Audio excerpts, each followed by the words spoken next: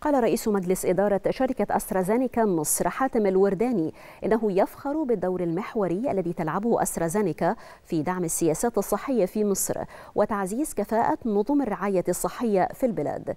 وقد جاء ذلك خلال تقرير الشراكة من أجل استدامة النظم الصحية وقدرتها على الصمود في مصر ضمن مبادرة الشراكة من أجل استدامة القطاع الصحي كنتاج تعاون متعدد القطاعات بين وزارة الصحة والسكان والشراكة العالمية تحت إشراف كلية لندن للاقتصاد.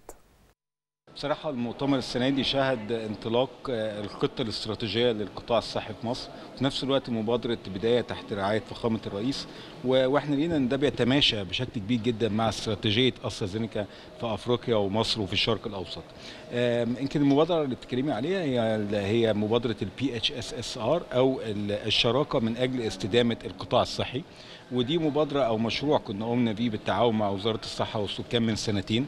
وكمان كان معانا London Business School و World Economic Forum ومختلف ال private sectors كان الغرض منها إن إحنا بندرس استدامة القطاع مرونته قدرته على مواجهة الأزمات قدرته على تحقيق العدالة الصحية ال financial أو ال sustainability of funds ال وجود الموارد لدعم المريض المصري. الحمد لله تشرفنا بوجود معالي نائب رئيس مجلس الوزراء الدكتور خالد عبد الغفار في إطلاق تقرير بي اتش اس اس ار اللي هو التقرير اللي بقى لنا أكتر من سنتين بتشتغلوا ما بين بتعاون ما بين ال private sector ممثل في شركة أسترازينيكا وما بين الدولة المصرية و London School of Economics ال World Economic Forum عشان يكون في تقييم للمنظومة الصحية المصرية وللقطاع الصحي على سبع محاور ويكون في توصيات إزاي المنظومة الصحية في مصر إيه نقطة القوة اللي فيها وإزاي المنظومة الصحية في مصر تقوم بمسؤولياتها في المستقبل.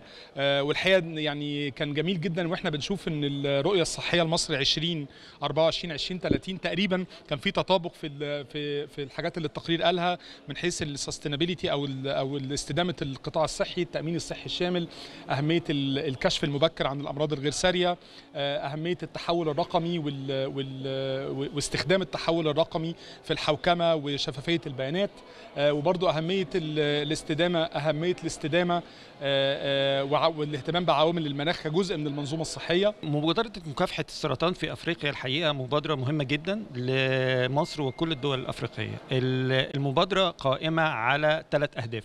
الهدف الأول هو زيادة نسبة التشخيص والمبكر في أمراض السرطان ودي حاجة مهمة جدا.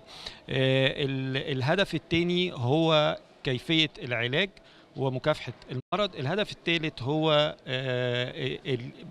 بإزاي نطور من البنية التحتية والكوادر الطبية اللي موجودة في الدول الأفريقية في مصر والدول الأفريقية ما بين من أول التمريض إلى علاج إلى حتى زيادة الوعي.